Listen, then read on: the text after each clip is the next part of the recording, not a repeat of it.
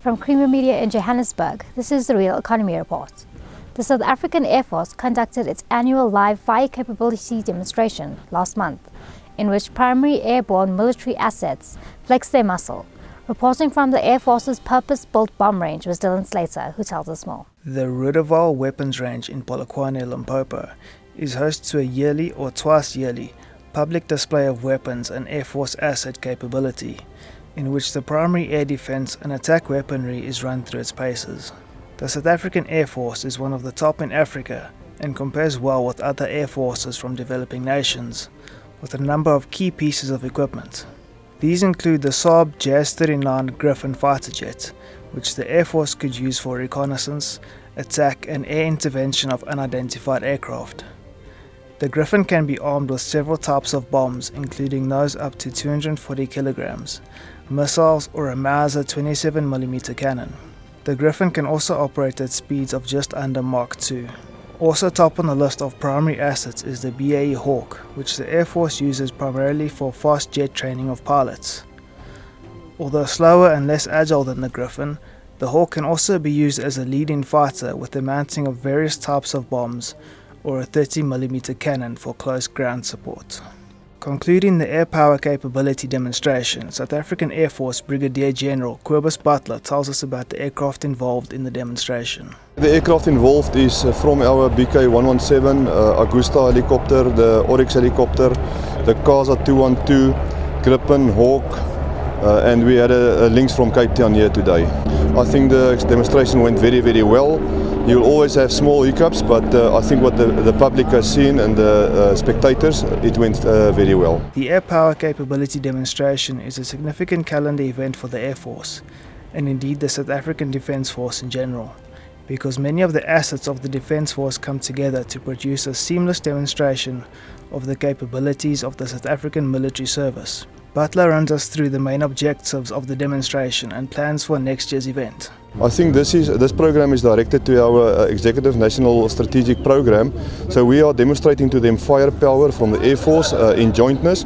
So maybe we can add a little bit more of the ground forces. Uh, you've seen for the first time in this show or this exercise that we have uh, added some of the military vehicles uh, to show jointness but next time we will add more uh, uh, military vehicles. Such Air Force demonstrations also serve to prepare troops, pilots and air personnel for combat, defense and peacekeeping operations as they represent a degree of real life scenarios. It was a combined uh, uh, a human uh, uh, rescue operation together with a combat rescue operation. So we have demonstrated to you in, in normal uh, fire uh, fighting operations what we can do and how to rescue people. Then also in operational situation how we can uh, rescue soldiers uh, in this operation. The Air Force also encourages youth through its national student program by inviting them to such events to experience what a career in the Defence Force might be like. It is for our Executive National st uh, Student Program, so this is once to twice a year, depending on the amount of students, and we, uh, we actually demonstrate this to the students, but when we demonstrate this, we also uh, utilize this as force preparation. For example, tonight we have qualified another uh, Oryx Commander, which is one of the first black ladies qualified as an Oryx Commander. We have qualified all the Gripen students, which was on course today on uh, on uh, uh, uh, two versus one combat maneuvers as well as their bombing phase. Like every other air power capability demonstration of the South African Air Force, many foreign Air Force dignitaries and personnel were in attendance. Butler explains why. Each country will always have, each Air Force or military will have foreign dignitaries visiting. So we have combined some of the visit, uh, visitors which would have come during the year to this demonstration just to show our capability to uh, the Angolan chief of the Air Force and his delegation and the Nigerian chief, uh, chief of the Air Force and his delegation. So it was combined uh, together with the Executive National Students Program. Other news making headlines Ekurhuleni to invest 2.2 billion rand in energy infrastructure and company brings consulting engineering into the digital age. The city of Ekurhuleni has committed 2.2 billion rand to invest in energy infrastructure over the next three years. Our intergovernmental cooperation is is crucial to the ability to fulfill our democratic mandate as government. We have, we have committed ourselves to fighting poverty, inequality, and to build a prosperous society in which all our people have a better life. We have recognized that this can only be achieved through radical economic transformation of our economy to place it on the path, on the real path for growth, as well as to ensure that we're able to create jobs and transform the wealth, uh, the wealth structure that, that we inherited from apartheid past.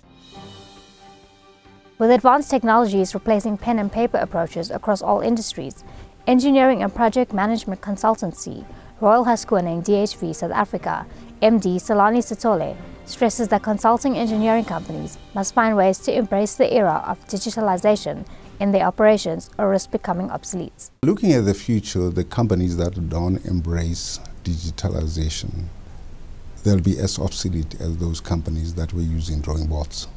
Okay, because like when CAD came and people were stuck to drawing boards, they soon realized that they were disappearing.